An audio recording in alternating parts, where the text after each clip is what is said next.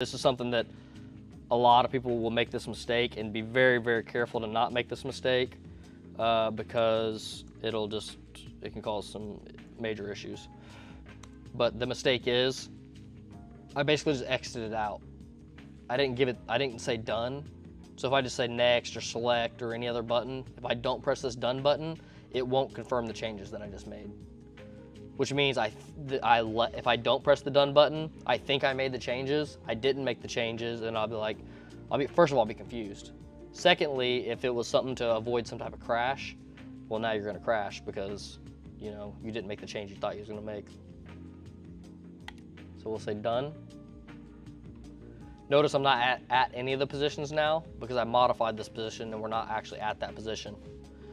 So again, we'll do the exact same process, shift forward. In the real world, this would create a crash. So this tool right here, this purple piece, would crash into this part.